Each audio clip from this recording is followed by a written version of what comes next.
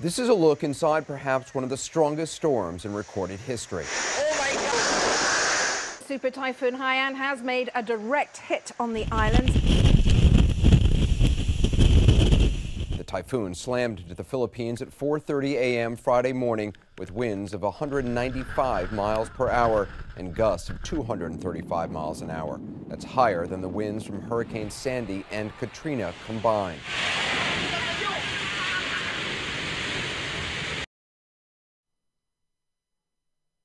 Incredible, isn't it?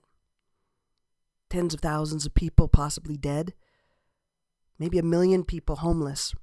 They need your help. They need our help. And so, what I'm asking is for you to give whatever you can, whether it's a dollar, five dollars, ten dollars, whatever your heart feels, and help. It's simple. Just contribute now. What if it were your sister, your brother, your family? Wouldn't you want people to help?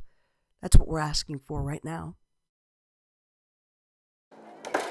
Authorities had pleaded with people to leave. Many did, but many stayed. This man was searching for his father, his brothers, and his uncle somewhere, he thinks, under this rubble. We all tried to leave, but it was too late. I got separated when the water started rising. I don't know what happened to them, he tells me. The devastation across the entire city of 200,000 people is widespread. Winds upward of 250 kilometres an hour, leaving a trail of destruction. This is now a city on edge. No power, food and water running out, and medical supplies almost gone. St Paul's Hospital, we're told, is the only functioning medical facility in the city. They can't admit any more patients. There's no room, just first aid in the most difficult of conditions.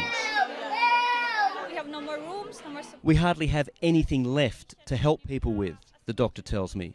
We have to get supplies in immediately.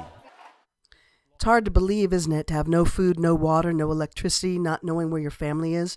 It's devastating. Here you see people doing whatever it takes to try to take care of their families, and I think that we can help them, don't you? It took a full day before help arrived. And even though the storm was predicted days in advance, the response so far has not been nearly enough. This was nature at its most frightening, a display of force that has smashed the lives of so many people. And this is just one city. There are countless towns up and down the coast where authorities are still waiting to hear word from. Do me a favor and contribute now and send this to everyone you know so that we can make a difference. It's important to know that 100% of your donation will go directly to the people of the Philippines. There's no middle people. We're not taking any fee. So please feel safe, feel comfortable, contribute now. I appreciate, I appreciate from the bottom of my heart. I have huge gratitude for you reaching out right here, right now, and just hit contribute. Send the message on, share it, retweet it. Thank you.